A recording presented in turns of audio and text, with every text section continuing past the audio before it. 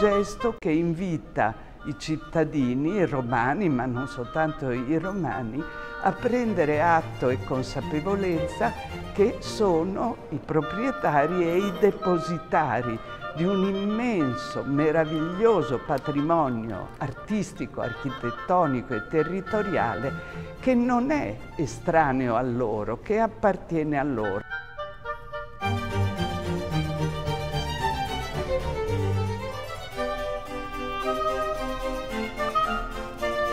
Devo dire che comunque è un'iniziativa interessante e giusta perché sonda eh, sia gli umori sia le, le, idee che hanno le persone, eh, i cittadini, ma anche insomma eventuali investitori sulla,